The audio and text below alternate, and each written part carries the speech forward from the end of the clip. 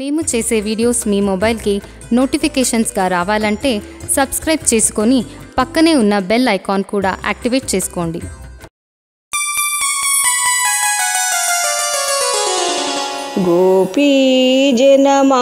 గోపీజనమానసరంజన నమామి నాథ జనార్దనా యమున తీరాన మదన మోహనా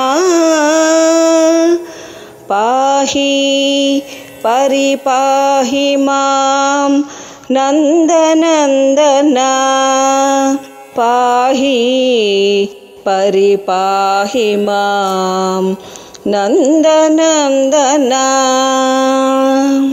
కృష్ణ నీళ్ళు చేసిన దాంట్లో శిశుపాల వద చూస్తాము ఇప్పుడు. ధర్మరాజు వైభవంగా రాజసూయ యాగం చేశాడు. యాగం చేసిన తర్వాత వచ్చిన వారిని పూజించే సమయం వచ్చింది. మొదట ఎవరిని పూజించాలి? అనే ప్రశ్న వచ్చినప్పుడు అన్ని విధాలా యోగ్యుడు అవతార పురుషుడు అయిన కృష్ణునికి ప్రథమ పూజ చేశాడు ధర్మరాజు. అది చూసి చేది దేశపు రాజు శిశుపాలుడు కృష్ణుడు ప్రథమ పూజకు తగడు అని అనేక విధాలా దూషించాడు. శిశుపాలుడి తల్లి సాత్వకి కృష్ణునికి మేనత్త. శిశుపాలుడు పుట్టేటప్పుడే నాలుగు చేతులు మూడు వ్రేళ్ళతో పుట్టాడు. ఆ వికృత రూపం చూసి అందరూ భయపడ్డారు. అయితే ఆ బాలుణ్ణి ఎవరు ఎత్తుకుంటే అధికంగా ఉన్న అవయవాలు మాయమవుతాయో అతని చేతుల్లో శిశుపాలునికి చావు ఉన్నదని ఆకాశవాణి పలికింది. అందువల్ల ఇంటికి వచ్చిన వారందరికీ శిశుపాలుని ఎత్తుకోవడానికి ఇచ్చేది తల్లి. ఒకసారి కృష్ణుడు అక్కడికి వెళ్ళి పిల్లవాడిని ఎత్తుకున్నప్పుడు వాడి మూడో కన్ను అధికంగా ఉన్న రెండు చేతులు మాయమైపోయాయి. దాంతో కృష్ణుని చేతుల్లో కుమారునికి చావు ఉన్నదని తెలిసి వాణ్ణి కాపాడమని కోరుతుంది కృష్ణుణ్ణి సాత్వకి. నూరు తప్పుల వరకు శిశుపాలుణ్ణి మన్నిస్తానని కృష్ణుడు మాట ఇచ్చాడు. అప్పటి నుంచి తన పట్ల శిశుపాలుడు చేస్తున్న అపచారాలను కృష్ణుడు లెక్క పెట్టుకుంటూనే ఉన్నాడు. ఇప్పుడు శిశుపాలుడు నిందించడంతో నూరు తప్పులు దాటినందున కృష్ణుడు వెంటనే చక్రాయుధంతో శిశుపాలుని తల నరికివేశాడు శిశుపాలుని స్నేహితుడు సాలుడు శిశుపాలుని తమ్ముడు దంతవక్త్రుడు ఆగ్రహంతో యుద్ధానికి సిద్ధపడగా వారిని కూడా వధించాడు శ్రీకృష్ణుడు. ఇప్పుడు కుచేలో పాఖ్యానం చూద్దాము. శ్రీకృష్ణునికి కుచేలుడు అనే ఒక బాల్య స్నేహితుడు ఉన్నాడు. అతడు బ్రాహ్మణుడు. కృష్ణునితో కలిసి సాందీపుని వద్ద చదువుకున్నాడు. వేద వేదాంగాలు అభ్యసించి గొప్ప విద్వాంసుడైనాడు. అయితే అతను కటిక దరిద్రుడు. దారిద్రానికి తోడు గంపెడు మంది పిల్లలు. సంసారాన్ని పోషించుకోలేక నానా బాధలు పడుతూ ఉన్నాడు. కుచేలుని భార్య పరమ పతివ్రత. భర్తతో పాటు ఆమె కూడా అష్ట కష్టాలు అనుభవిస్తున్నది. దరిద్రానికి ఆకలి ఎక్కువన్నట్లు పిల్లలు నకనకలాడిపోతుంటే ఆమె ఏమీ చేయలేక నిస్సహాయ స్థితిలో దుఃఖపడుతూ ఉండేది. తినడానికి తిండి కట్టడానికి బట్ట లేక కుచేలుని కుటుంబము దుర్భరమైన బాధలు అనుభవిస్తూ వచ్చింది. బియ్యపు నూకలకు కూడా నోచుకోలేక పిల్లలతో సహా పస్తులుండడం ఆ ఇంట్లో పరిపాటి అయిపోయింది. పరిస్థితి ఇలా ఉంటే కుచేలుడి భార్య ఒకనాడు భర్త దగ్గర కూర్చుని స్వామి మనకు ఎన్నాళ్ళు ఈ దరిద్ర బాధ? పిల్లలను చూస్తే నా గుండె తరుక్కుపోతుంది. దీనికి ఏదో ఒక మార్గం ఆలోచించండి. సాక్షాత్తు లక్ష్మీనాథుడైన శ్రీకృష్ణుడు మీ బాల్య స్నేహితుడు కదా. ఆయన దగ్గరికి పోయి మీరు ఎందుకు యాచించకూడదు? ఆయన దీనవత్సలుడని అంటుంటారు కదా అందరూ. ఆయన మనకు ఏదైనా సహాయం చేయకపోడు అని కంట తడిపెట్టింది. భార్య సలహా బాగుందని అనుకున్నాడు కుచేలుడు. ఈ నెపంతో అయినా భగవంతుని దర్శించవచ్చు కదా అని సంబరపడ్డాడు. వెంటనే భార్యతో అంతటి గొప్పవాడు చిన్ననాటి స్నేహితుడు అయిన శ్రీకృష్ణుని దగ్గరికి వట్టి చేతులతో పోతే ఏం బాగుంటుంది? ఎలా వెళ్ళను? ఏదైనా కానుక తీసుకుని వెళ్తే బాగుంటుంది. ఇంట్లో ఏమైనా ఉంటే ఇవ్వు అని అన్నాడు. పాపం ఆ ఇల్లాలు ఏమిస్తుంది? ఇంట్లో ఏమున్నాయి కనుక ఇవ్వడానికి. ఇరుగు పొరుగు బ్రాహ్మణ ఇళ్ళకు వెళ్ళి నోరు తెరిచి అడిగింది. ఏమైనా పెట్టమని. వారు కాసిన్ని అటుకులు పెట్టారు. అవి నాలుగు పిడికెళ్ళు అయిపోయాయి. వాటిని ఒక చిరిగిన మాసిపోయిన గుడ్డ ముక్కలో మూట కట్టి కుచేలునికి ఇచ్చింది ఆమె. అటుకుల మూట తీసుకుని కుచేలుడు ద్వారకకు బయలుదేరాడు. అయితే ఆ పేద బ్రాహ్మణుడి మనసులో అనేక సందేహాలు పీడిస్తున్నాయి. రెండవ వైకుంఠంలా ఉండే కృష్ణుని మందిరంలో తాను ప్రవేశించడం ఎలా? వెడితే మాత్రం కృష్ణుడు దర్శనమిస్తాడా? అసలు ఆయనకు నేను జ్ఞాపకం ఉంటానా? ఇలా ఎన్నో ఎన్నెన్నో అనుమానాలు భయాలు మనస్సును కలవర పెడుతుండగా కుచేలుడు ద్వారక చేరుకున్నాడు. కృష్ణుడు దివ్య భవనానికి వెళ్ళాడు. అక్కడ ఎవ్వరూ అతన్ని అడ్డగించలేదు.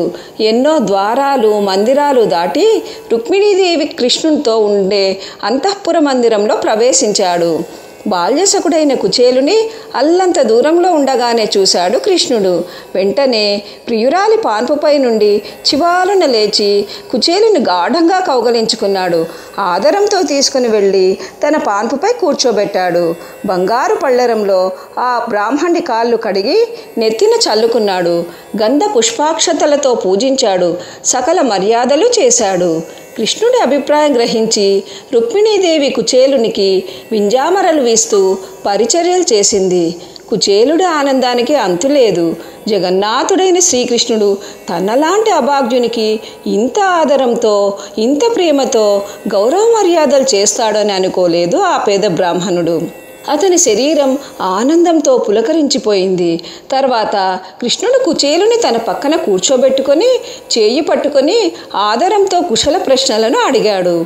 చిన్నప్పుడు చదువుకునే రోజుల్లో సంగతులు ఒకరికొకరు గుర్తు చేసుకుని ఇద్దరు కొంతసేపు కబుర్లాడుకున్నారు. తర్వాత కృష్ణుడు స్నేహితుడా ఇంతకాలానికి మనం కలుసుకున్నాం కదా మీ ఇంటి నుంచి నా కోసం ఏం తెచ్చావు? భక్తితో ఇచ్చిన పండు ఫలం ఏదైనా సరే నేను సంతోషంతో స్వీకరిస్తాను అన్నాడు. కృష్ణుడు అలా అడగగానే కుచేలునికి ఎక్కడ లేని దుఃఖం ముంచుకొచ్చింది. తాను తెచ్చింది దోసడు అటుకులు. అవి ఎవరైనా చూస్తే నవ్విపోతారు. అవి కృష్ణునికి ఇవ్వడం ఎలా? కానీ ఏం చేస్తాడు? తన దగ్గర ఇంకేముంది ఇవ్వడానికి? బదులు చెప్పలేక తల వాల్చుకున్నాడు కుచేలుడు సిగ్గుతో. అయితే భగవంతుడైన కృష్ణునికి సర్వం తెలుసు. కుచేలునికి సకల సంపదలు ఇవ్వాలనుకున్నాడు. కుచేలుని దగ్గర ఉన్న చిన్న గుడ్డ మూట పట్టుకుని కృష్ణుడు ఇదేమిటి మిత్రమా? నా కోసం ఏదో తెచ్చినట్లున్నావే అన్నాడు. కుచేలుడు మాట్లాడలేక కంట తడిపెట్టాడు.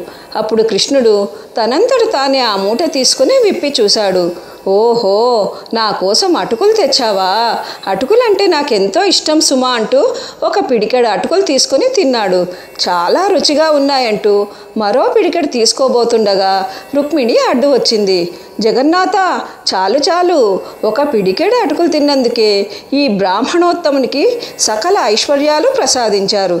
ఇక వద్దు అంటూ వారించింది. అవును ఇంకా కుచేలుడి అటుకులు కృష్ణుడు భక్షిస్తే లక్ష్మీదేవైన తానే అతని ఇంట శాశ్వతంగా ఉండిపోవలసి వస్తుందని తెలిసి రుక్మిణీదేవి అలా చేసింది. తర్వాత కృష్ణుడు కుచేలునికి ఆతిథ్యం ఇచ్చాడు. స్నానం చేయించి నేత వస్త్రాలు కట్టబెట్టాడు.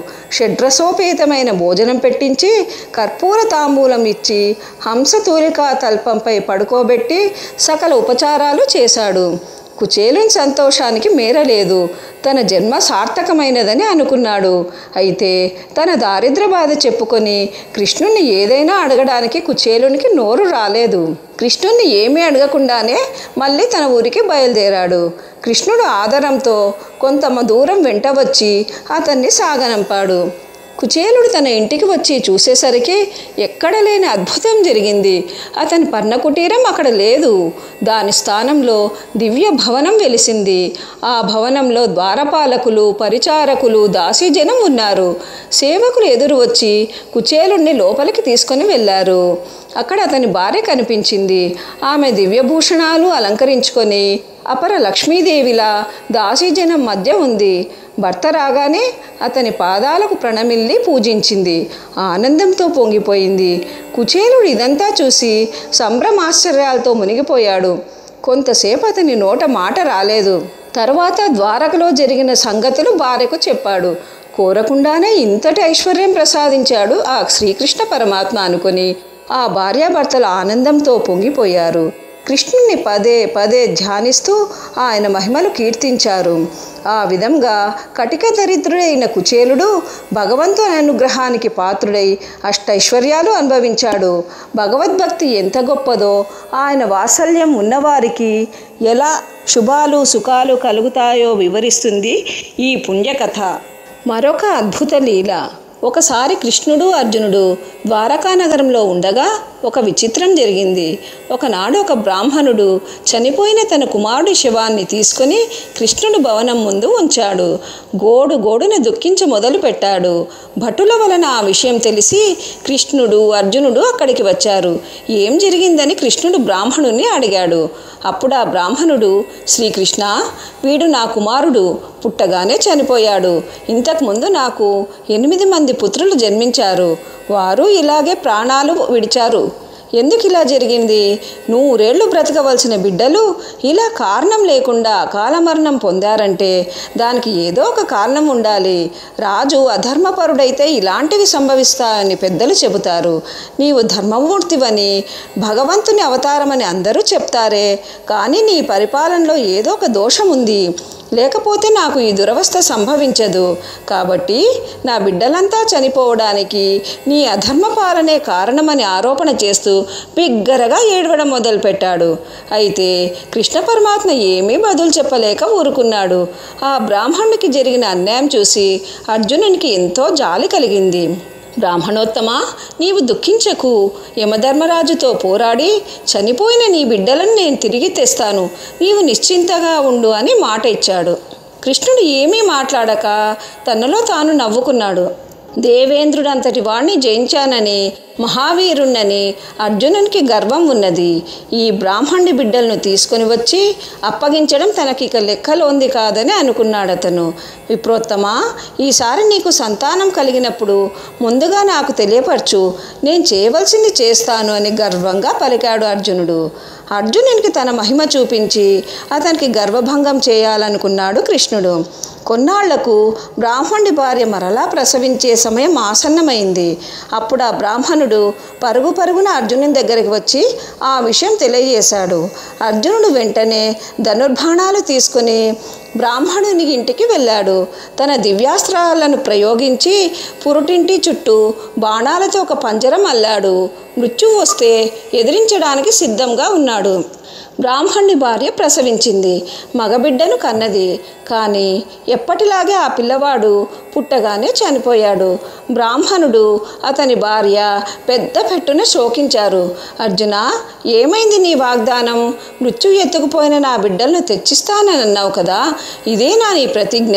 ఇంతే నా నీ ప్రతాపమని నిందావాక్యాలు పలికారు. అర్జునునికి రోషం వచ్చింది. వెంటనే బయలుదేరి యమలోకానికి వెళ్ళారు. అక్కడ బ్రాహ్మణ కుమారుడు కనిపించలేదు. తరువాత ఇంద్రలోకానికి వరుణలోకానికి అలాగే దిక్పాలకులందరి లోకాలకు వెళ్ళి వెదికాడు కానీ బ్రాహ్మణపుత్రుని జాడ కనిపించలేదు. చివరకు విసిగి వేసారి ద్వారకకు తిరిగి వచ్చాడు. ప్రతిజ్ఞ నెరవేర్చలేకపోయినందుకు ఎంతగానో చింతించాడు. గాంధీవంతో సహా అగ్నిప్రవేశం చేసి అసువులు వీడడానికి సన్నద్ధుడైనాడు.